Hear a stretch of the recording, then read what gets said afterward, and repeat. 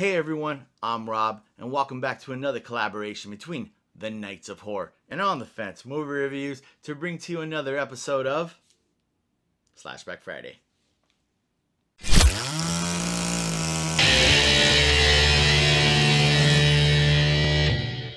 Now, before I get into my movie review, I just want to say I've had a blast doing these collaborations uh, between the two channels and, you know, just kind of going over my favorite and, you know, kind of my top picks uh, of Halloween movies. Now, in saying all that, uh, the movie I want to review today came out in 1978.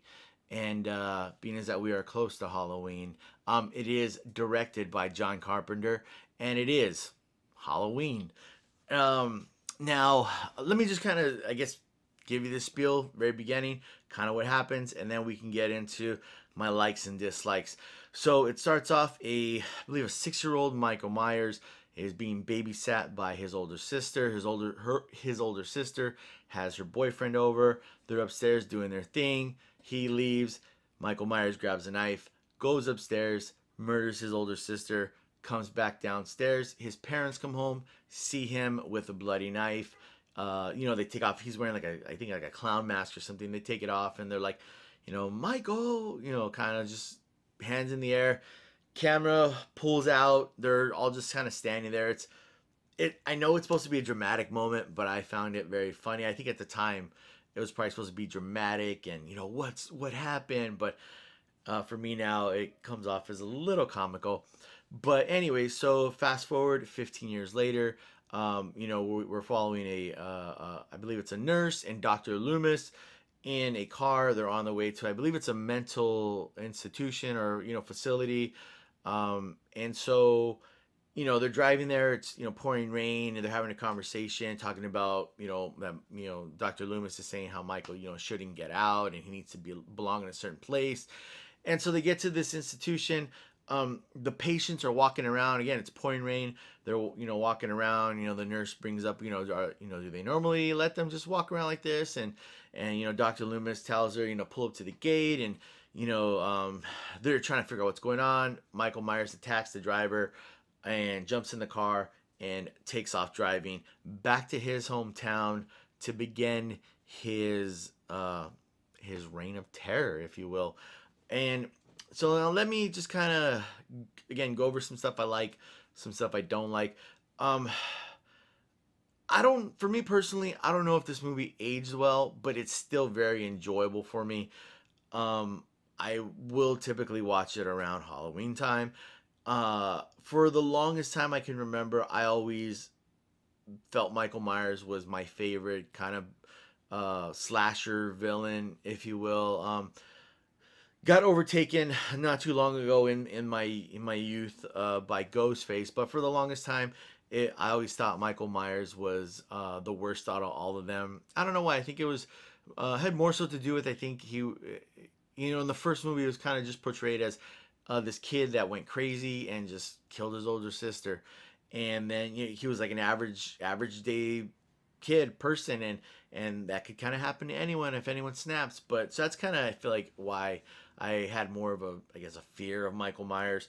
Um, and now, in saying all that, uh, the things I really did enjoy about this movie, uh, the soundtrack, and I feel like the sound, the soundtrack is almost pretty much throughout this movie, and it, it you know, it gives you the ups and downs, and and you know, it, it speeds up and it slows down. It gives you that kind of feel of you know the you know the biting your nails that kind of you know anticipation of something happening. But then also too it may sound a little weird but just like the the breath like when michael's breathing and you're close to him um you hear like the not like darth vader where it's like i'm your father. Oh, that's more like bane but just like the, the if you've ever worn a mask and you hear like the the breath against the mask like plastic where it's like there's kind of like that breath. That's a part of the soundtrack, and it may sound weird, but it with the music, it is very eerie. And even you know, I just recently watched it the other day, and I was just like, that's kind of creepy just to hear someone breathing like that, because it's not like a breath or two like that. It's just like for like 30 seconds, just kind of like that. And so that again, very creepy. I don't want to get into breathing technique or anything like that, but um, so those are a couple things that you know I was like, okay, this is in the bonus. You know, I I do like these are you know plus pluses for the movie because it makes it feel a little eerie um, and creepy at the same time. And now, Michael Myers does uh, kill, I think, a couple people before he actually kind of uh, runs into into Laurie and kind of stalks her. But but once he uh, sets his eyes on Laurie, nothing really happens for the whole movie. Um, now I'm not saying that's a bad thing or a good thing or anything like that, but nothing really happens until the end. He, you know, it's just more him kind of stalking her and watching her and her and her friends and just you know you see him off in the background and even you know Laurie sees him and and you know just kind of like you know like what, what what's going on and and stuff like that and um so for most of the movie there's not a lot of I, I mean we say action going on or anything crazy going on it's just more Michael stalking them, whether he's in the car driving, following them, or whether he's walking, following them. Um, so, I mean, you can take for me. I feel like maybe along the lines. I again, like I said, you know, he does murder. I think one or two people before he gets to the town, but but in between that really nothing happens until he until the end when you know he starts to murder the babysitters.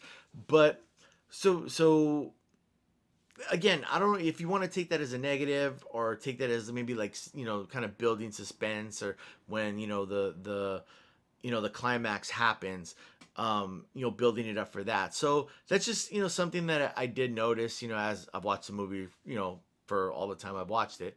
Now things that i just kind of i don't like and i understand back then that was kind of maybe like a theme it's just I guess dumb victims. Um, I feel like a lot of horror movies now, and again, it's you know you don't always. I don't want to compare stuff to back then, but just stuff you see now, and then I know that's how it was back then. it is maybe that's what they want for me is me to be like, would you not turn your back to the killer just because you know you stabbed him once, or you know keep the knife in your hand, don't let it go just because you know he fell over, kind of thing. Um, but but you know it, it it's I also get why they do it because it's smart too. It's you you're building frustration in in in me the audience member, but that there's also payoff for it. So I mean, you know, it, it's one of those things where like you know, I don't know if it's aged well, but it's definitely entertaining for me to watch. Um, you know, there's I don't find it as scary as I once did. You know, when I was younger, there's certain movies where I'm just like, okay, that there's scary stuff in this movie. There's, you know, jump scares or whatever. But I really don't think anything in this movie is like jump scare or it's like, oh, this pops out at you. It's definitely a very, uh, it's a simple, it's a simple slasher film. I actually, when it comes to the name Halloween, because it does play take place on Halloween, but I think if you know if this didn't take place on Halloween, they could have just called the movie Michael Myers or something like that. But specifically, it does take place on Halloween, and you know it has that lore. And you know when you think of the movie's Halloween, obviously you think of Michael Myers. Um, now, in saying all that, would I recommend you guys watching it? Um, this is what I'm gonna say. If you enjoy that old school kind of horror movie vibe, I'm gonna say definitely get off the fence and check out Halloween uh, because yes, it is a dated movie. Um, yes, there is some over the topness to it, uh, but at the same time, at the at its very core, it is a simple slasher film that that at its time I feel like was done really good and then when I say simple, you know, la- the later on movies, the later on Michael Myers, you know, stuff, you know, he becomes, you know, he just kind of becomes this legend. In this movie, he it's the beginning of it, and and it's just it like I said, it's very simple, it's very basic, but it's very entertaining. Um, you just gotta. This is more something you pick, and you're like okay, yeah, I like that. Maybe this doesn't work, or maybe you know they could have did without this. But overall, these positives outweigh the negatives, at least for me.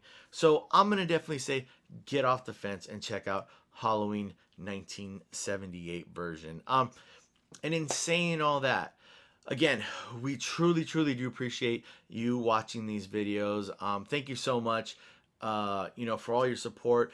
Uh, just do do us a favor uh, you know, hit that like button. Please subscribe to either On the Fence, well, both. Subscribe to both. You don't have to subscribe to either or. Subscribe to On the Fence and movie reviews if you haven't, and subscribe to the Nights of Horror if you haven't. We also our Instagrams, the same thing. On the Fence movie reviews and the Nights of Horror.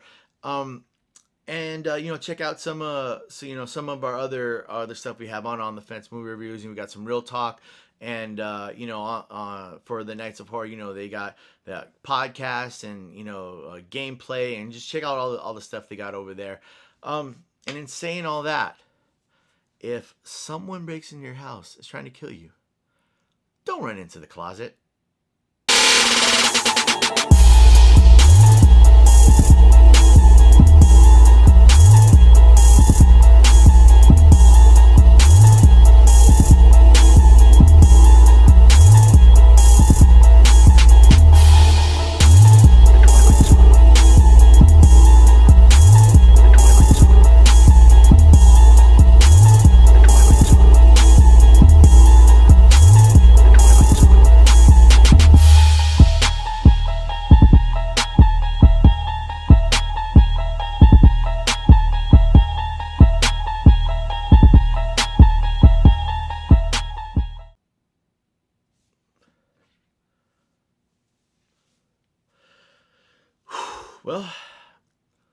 that's it, guys.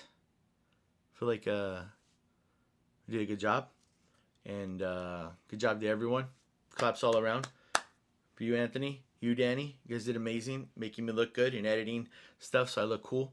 And not too, uh, not too imbecilic. That's a word. But, alright, guys.